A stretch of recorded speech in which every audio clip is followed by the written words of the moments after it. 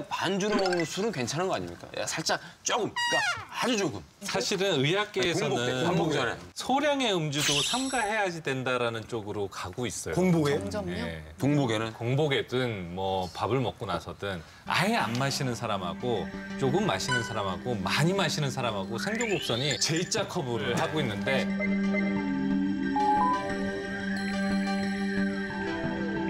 양강모 선생님 얘기로는 소량의 음주도 피해야 된다라고 했지만 그건 아직 이제 전체적인 합의가 돼 있지는 않죠. 그렇죠.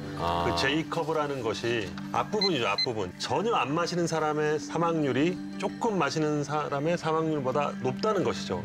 이제 그거를 근거로 적당량의 음주를 하면 오히려 사망률을 낮추는데 도움이 될 수 있다. 이제 이런 얘기들이 나오고 있습니다. 제가 TV 프로그램이나 이런 데 보면 소량의 와인은 심장 예. 질환이라는 거에 조금 도움을 준다라는 얘기가 그 얘기가 바로 이제 여기서 나온 얘기고요. 이제 와인 한두 잔 정도. 그 부분이 사실 그 제 애매했던 게 제가 혼자 살 때 집에서도 이제 요즘에는 혼술이라는 아름다운 단어 네. 이제 포장이 되긴 합니다만 그래서 와인 잔하고 와인을 샀어요.